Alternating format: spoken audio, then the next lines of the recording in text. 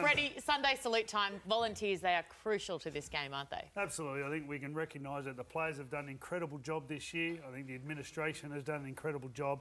But I think further to that, I think the volunteers have they keep the game running have done the most impressive job considering we have no idea what some of the communities are like and how they're affected, but for people to stand up at a time like this and run their footy clubs and get the kids out of the houses and do whatever we can do within the protocols, and they've had to work twice as hard this year. So, uh, the New South Wales Rugby League Volunteer of the Year went to Christine Laird, and she's from down at Kiama.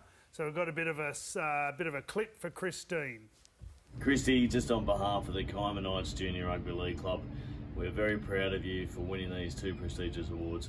We know the vast amount of work that you do for this club and for the kids and for the families. So very well deserved and congratulations. I'd like to thank Kristie Laird for her efforts with our club COVID plan, getting us back on the field safely and quickly. Thanks to Kristie, we have our first ever girls under 14 tackle team. Kristie designed our uniform and made sure we had a game to play every week. All the girls loved the contact. Big thanks to Kristie for making it happen. We all uh, can't wait for next year. Thanks, Kristie, for taking all the action photos of us playing football every week and taking our end of season team photos. Go the Knights. You! We're really proud of our mum for winning this award. She puts in a lot of effort for me and my friends to play footy on the weekend. We just want to say thank you so much to Kristie Laird for helping the Kiama Knights when we've needed it.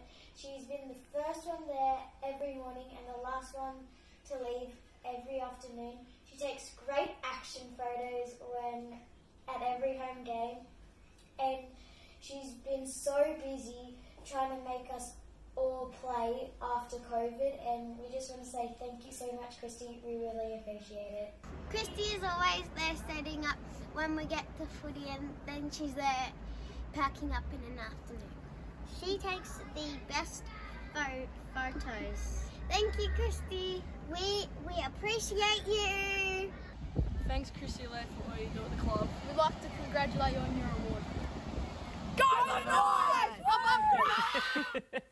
And the best part about it, I'm about to get on my motorbike and head to Griffith, and we're going past Kiama on the way. We're going to meet up with Kristie and have some lunch. So I can't wait to see you, Kristie. You've done an incredible job this year. Oh, isn't that awesome? And some of mm. those kids, I love the two girls, and when it was the other one's turn, the elbow.